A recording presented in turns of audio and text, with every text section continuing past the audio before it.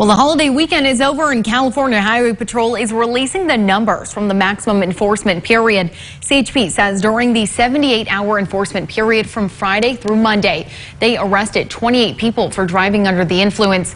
Deputies say there were no deadly crashes associated with driving under the influence over that weekend.